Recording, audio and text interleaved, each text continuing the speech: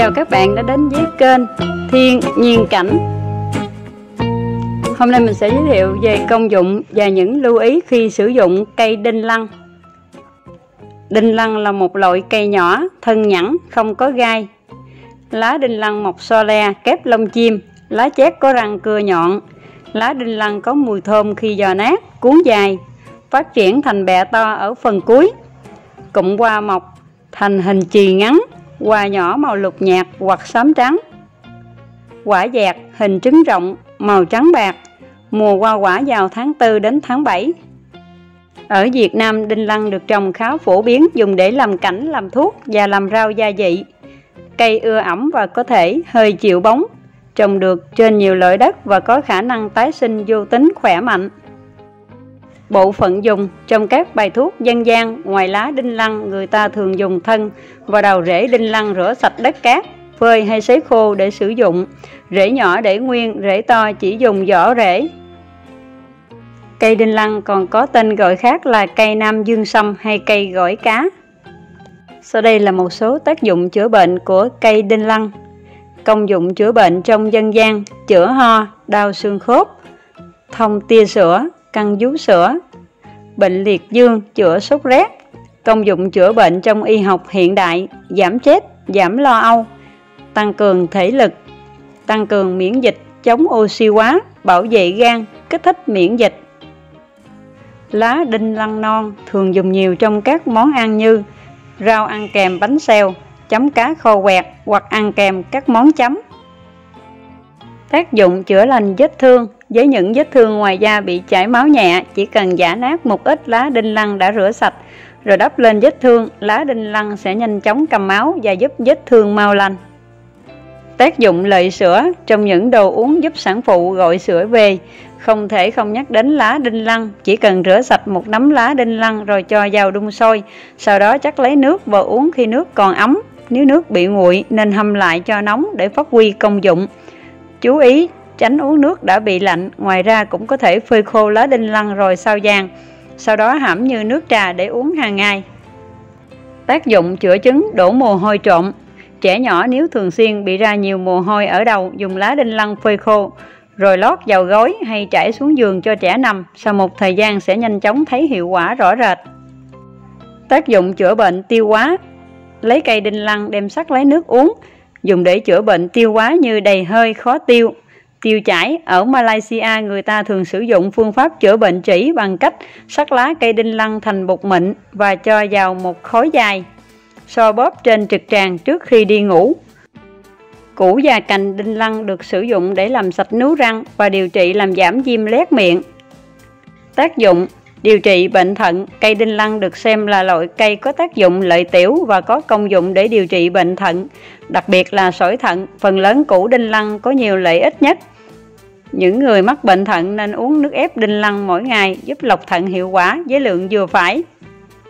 Tác dụng chữa sưng đau cơ khớp Lấy 40g lá tươi giả nhuyễn sau đó đắp trực tiếp lên chỗ sưng đau. Khi khô lại đắp lại, tiếp tục. Liên tục như vậy vết sưng đau sẽ nhanh chóng dịu đi và nhanh lành. Tác dụng chữa bệnh lười hoạt động, mệt mỏi, rễ đinh lăng phơi khô thái mỏng đủ 15g, sắc với 300ml nước, đun sôi 15 phút, chia ra uống 2 đến 3 lần trong ngày. Tác dụng trị tắc tia sữa, căng sữa vú, rễ đinh lăng 30g, sắc với 500ml nước, đến khi còn 250ml, uống khi còn ấm ngay sau khi sắc. Uống liền 2 đến 3 ngày để chữa bệnh nhức vú, sau đó sữa sẽ chảy về bình thường trị phong thấp gây tê nhức chân tay, đau lưng mỏi gối, dùng thân và cành đinh lăng từ 20g, có thể kết hợp thảo dược khác mỗi vị 10g, gồm rễ xấu hổ, lá lốt, bưởi bung và cúc tần, sắc với 600ml nước đến khi còn 300ml, chia ra uống 3 lần trong ngày. Tác dụng chữa chứng thiếu máu.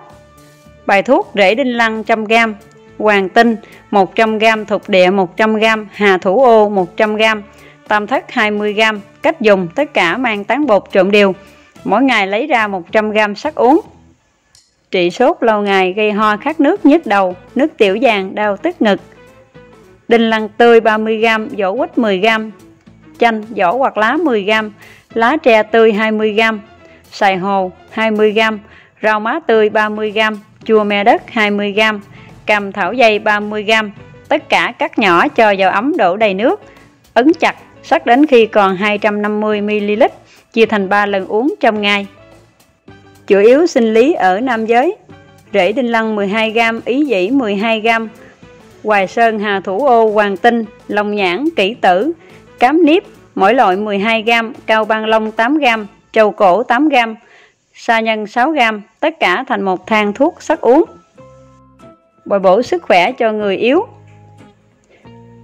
Người yếu có thể dùng lá đinh lăng nấu canh thịt hoặc cá để bồi bổ, có tác dụng như nhân sâm nhưng an toàn hơn. Lấy 200g lá tươi rửa sạch để ráo nước, khi nấu canh thịt hoặc cá bỏ lá đinh lăng sau cùng, sao cho chín tới là được, không để sôi quá lâu vì bị mất chất. Ăn ngay khi còn nóng. Phòng chứng co giật ở trẻ em, lá đinh lăng cả già lẫn non phơi khô nhét vào gối hoặc trải trên giường cho bé nằm. Cách này giúp trẻ ngủ ngon, không bị giật mình và ra mồ hôi. Trị bệnh gút, đau lưng, tê khớp, mỗi gối.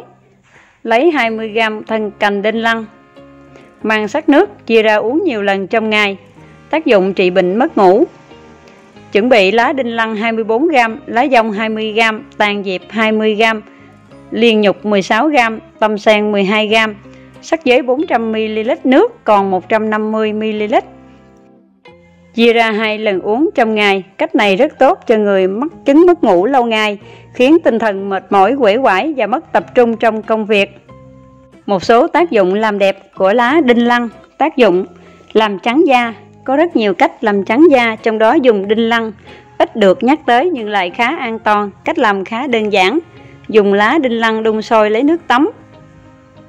Khi đó các dược chất sẽ ngấm sâu vào da, giúp tiêu diệt các sắc tố gây ra thâm nám, tái tạo collagen và làm trắng da. Ngoài các công dụng kể trên, đinh lăng còn giúp hoạt huyết dưỡng não, rất tốt cho não bộ. Giúp ăn ngon ngủ ngon, rất tốt cho những người làm việc bằng trí óc, cần tăng cường trí nhớ, hỗ trợ điều trị các bệnh như suy nhược thần kinh, rối loạn tiền đình, các bệnh về thận, tiết niệu, sỏi thận, lợi tiểu. Tác dụng trị mụn, dùng lá đinh lăng tươi rửa sạch, để ráo nước, giả cho nhuyễn, cho vào hạt muối, dùng bã đắp lên chỗ mụn. Chừng 10 đến 15 phút thấy khô thì rửa sạch bằng nước, làm một lần mỗi ngày, tốt nhất là buổi tối. Kiên trì 2 tuần sẽ thấy làn da cải thiện rõ rệt. Sau đây là những lưu ý khi sử dụng cây đinh lăng. Đinh lăng cũng giống nhân sâm chứa nhiều saponin. Nếu dùng nhiều có thể gây buồn nôn tiêu chảy, phá dở hồng cầu. Vì vậy trước khi sử dụng cần tìm hiểu thật kỹ, dùng với liều lượng thấp. Không dùng cho trẻ em và phụ nữ đang mang thai. Khi sử dụng đinh lăng không nên sử dụng quá nhiều, không nên lạm dụng sẽ ảnh hưởng rất lớn đến sức khỏe con người. Trên đây là thông tin chỉ mang tính chất tham khảo. Cảm ơn các bạn đã xem video của mình. Chúc các bạn luôn luôn vui vẻ, hạnh phúc.